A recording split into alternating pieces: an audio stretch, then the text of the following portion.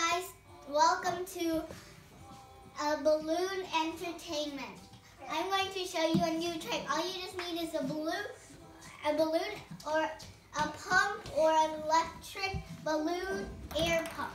So, so, so this, so we're learning about helium.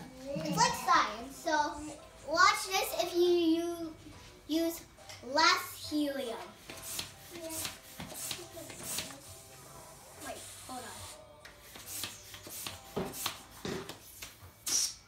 Doesn't go really that far and not too long, so it won't stay in the air for very long, but I'll show you more helium.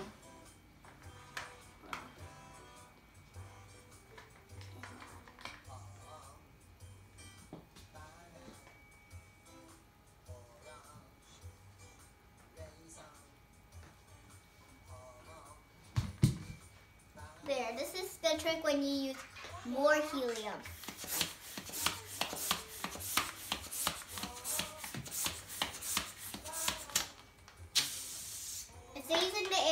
longer.